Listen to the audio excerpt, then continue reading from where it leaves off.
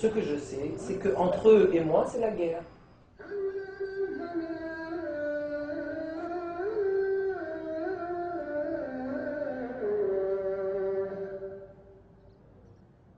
Ni alerte à la bombe, ni couvre-feu. C'est juste Ramadan, ce fameux mois saint où on doit observer un jeûne total de l'aube au coucher du soleil. L'observation du jeûne pendant le ramadan est une obligation divine pour toute personne majeure. Celui qui le conteste est un mécréant, celui qui s'y refuse est un impie. Et s'il ne s'en repent pas jusqu'à sa mort, il sera précipité dans les feux de l'enfer.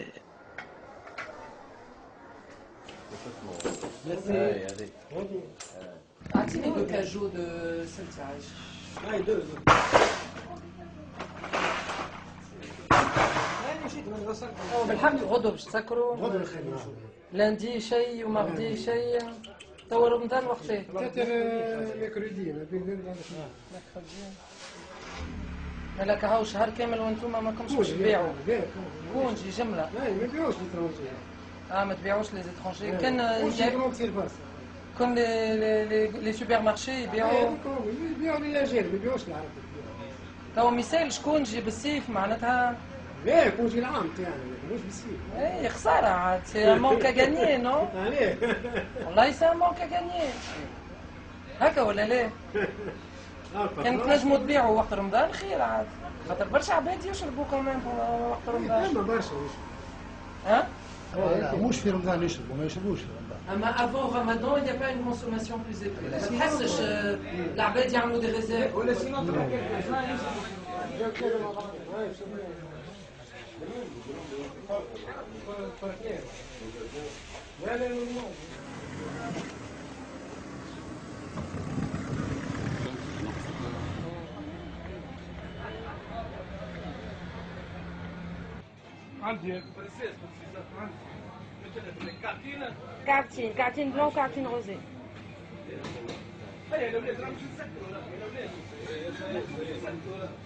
سكر يا غاز هبط علينا وليت فيلم لهنا العباد صار وليت فيلم.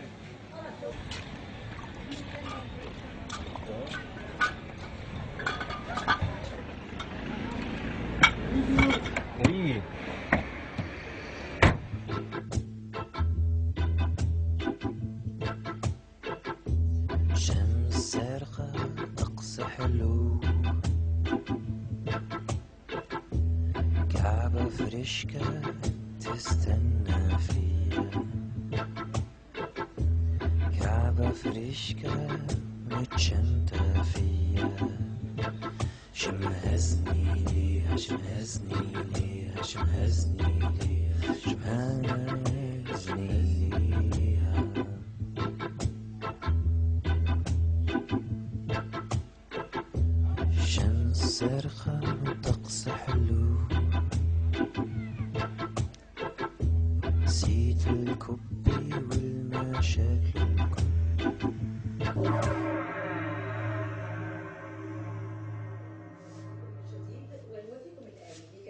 سماحة مفتي الجمهورية بعد عملية رصد هلال شهر رمضان المعظم بسم الله الرحمن الرحيم والصلاة والسلام على خير المرسلين وعلى آله وأصحابه أجمعين.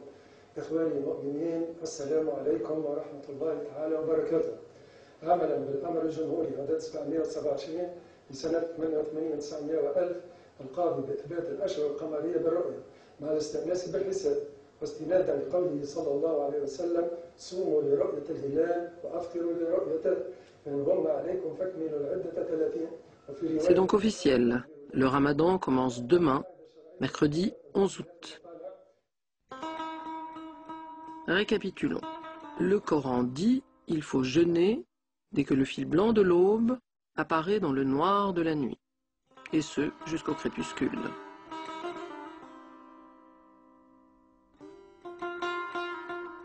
Pour les jeûneurs, il faut rester une journée entière sans boire, sans manger, sans fumer de cigarettes et sans... Et oui, le Coran va jusque-là. Au crépuscule, après l'appel à la prière, ce sera le top départ de la rupture du jeûne. Et tous les jours, tout le monde va manger à la même heure pendant un mois.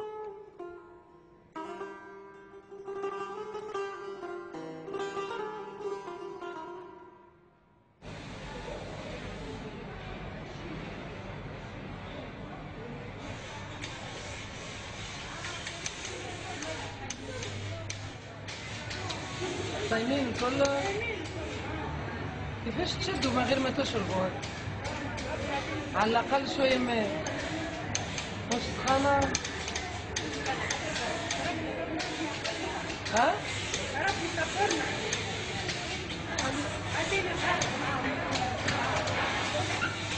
أي ما لكن شهر صعيب هذا يعني في الصيف لا؟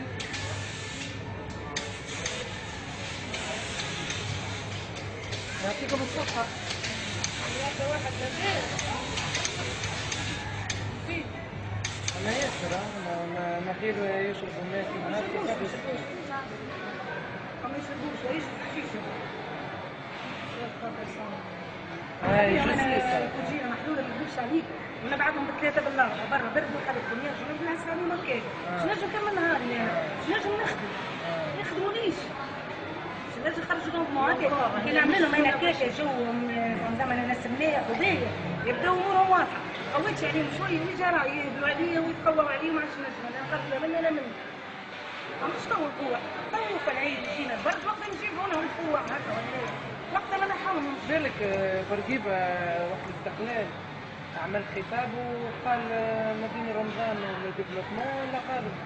ما تسموش خاطر وقت الواحد يخدم عبرك بيقولوا ربي شوفوا عبرك دخلنا الجنه نتقبلوا ربي نتقبلوا والله بينا الجنه جهنم إحنا نهاري تعدى أنا مش نموت أنا أنا عندي فقط ضغط دم سنين يكسر انيميا انيميا أنا نسي نجوم أنا نسي ما جاونيش الحمد لله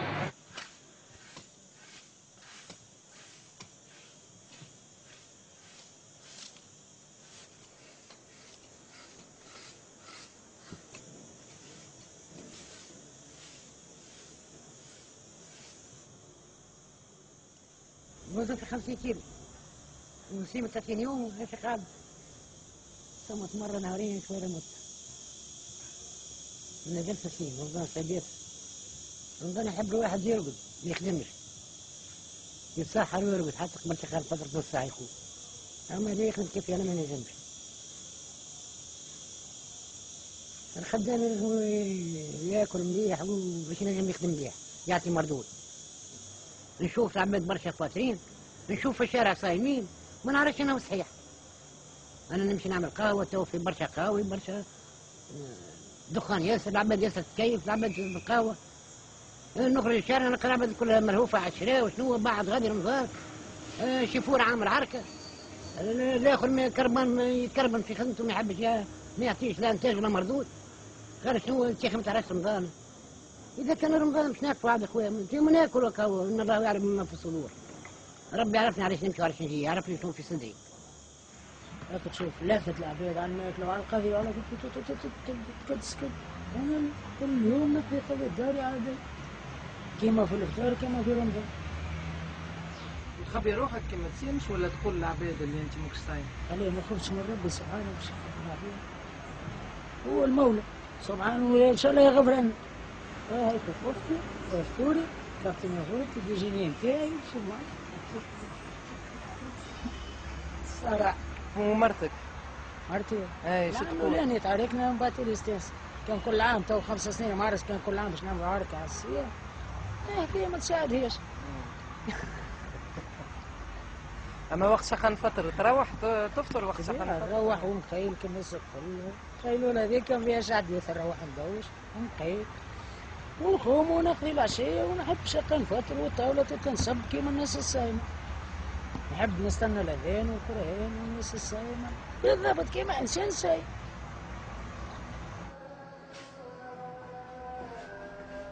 نسمع le sacrilège total.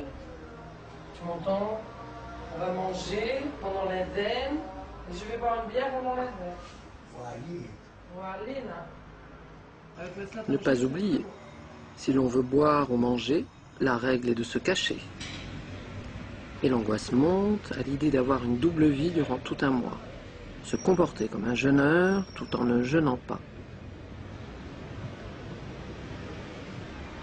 Ça me rappelle les sex shops à Paris. Les mecs ils rentrent dans les sex shops, euh, dis mais genre euh, ils l'ont pas fait exprès, tu vois. Ils marchent normalement et vous vous y rentrent. Et après quand ils sortent, ils font pareil, tu sais.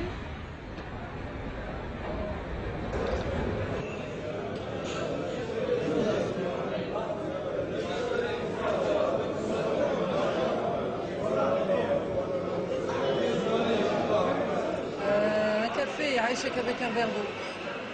ولا اعطيني سيتروناد اعطيني سيتروناد هذا باش شنو موسي شنو؟ موسي لا ماناش قاعدين نصوروا في العباد هاي قاعدة تصور تصور فيا لا لا صورتنا إحنا غاديك عايش أختي نحيها لها كاساتها ونقول لك باهي داكور سكر سكر عايش سكر أختي سكر سكر علاش علاش تصور؟ وعلاش لا؟ مش ليغال مش ليغال، مش قانون ما هوش ممنوع تفطر وقت رمضان. لا ممنوع؟ ممنوع لا في الدين هذيك حاجة أخرى. الدين حاجة والدولة حاجة. الدين حاجة والدولة حاجة. الدستور لون القانون لون الدستور شو يقول؟ شو يقول؟ تونس لغتها العربية دينها الدين نتاعها الإسلام. الدين نتاعها الإسلام. أما ما قالكش أنت بالسيف تطبع الدين. فهمتني؟ آه وي خويا.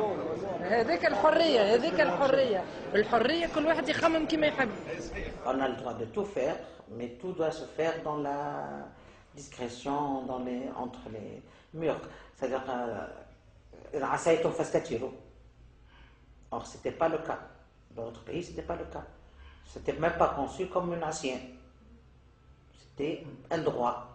Pour euh, des générations et des générations, c'était un droit de mener sa vie comme aujourd'hui. Il y a euh, cette histoire de se cacher quand on ne jeûne pas, mais aussi se cacher quand on sort avec quelqu'un.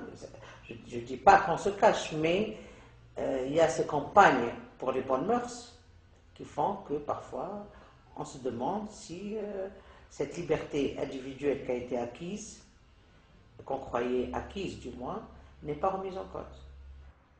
Quand je vois ce qui se passe aujourd'hui, euh, il y a un gap énorme entre euh, la manière dont finalement la, société à l'époque euh, concevait la pratique de la religion. On pouvait la pratiquer comme on l'entendait, on pouvait le faire savoir ou on pouvait le faire dans l'intimité. En tout cas, je pense que pour beaucoup de croyants à l'époque, on avait plutôt envie de la pratiquer dans l'intimité. Aujourd'hui, la pratique de la religion est beaucoup plus sociale. Moi, pour moi, c'est politique. Moi, c'est clair dans ma tête. C'est pas le peuple. Allez, le peuple, il se rappelle du peuple quand ça les arrange. Il y a plein, plein, plein, plein, plein de questions sur lesquelles on n'interroge pas le peuple, sur lesquelles euh, on se demande même pas s'il y a une opinion. Il n'y a pas. euh, on n'est pas dans un pays où on peut parler d'une opinion publique. On n'a pas d'opinion publique puisqu'on n'est pas dans un pays où l'opinion peut s'exprimer. Donc, ça, c'est pas. Pour moi, c'est clair, c'est net. J'interprète la loi, j'interprète certains textes de loi religieuse d'une façon très libérale.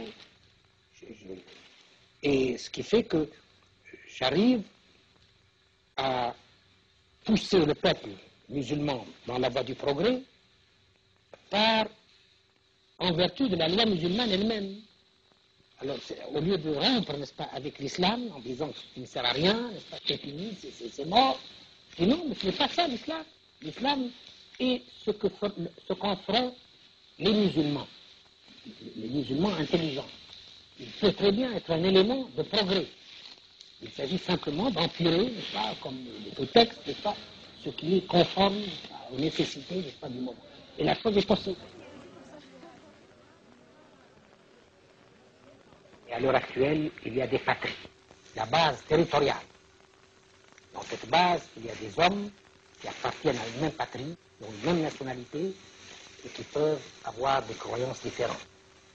C'est le cas en Tunisie, il y a des musulmans, des juifs, mais qui sont nationaux, qui ont les mêmes droits, les mêmes devoirs, et qui ont le même attachement vis-à-vis de leur patrie. C'est la nouvelle structure, la nouvelle structure des États modernes. C'est la base territoriale, où le, facteur religieux constitue un élément n'est pas le plus important. Ce qui est grave aujourd'hui, c'est que même quand on ne parle pas de religion, quand on parle par exemple de, de certaines grandes idées, grandes idées scientifiques, on va très vite condamner celui qui est supposé être athée. Être athée, euh, être matérialiste, être et bon et toute la chaîne suit en fait. C'est ça qui est grave. Et ça c'est vraiment le signe euh, d'une fermeture. Euh, Cette idée de pensée unique, de tenue unique, de... Je sens que les choses sont en train de s'uniformiser. On dirait qu'on va finir par avoir un modèle de citoyen. Un jeune, il doit être comme ça. Revendiquer la laïcité, c'est revendiquer le respect de celui qui va défendre un certain nombre d'idées sans nécessairement se référer à une religion. À supposer même qu'il soit croyant.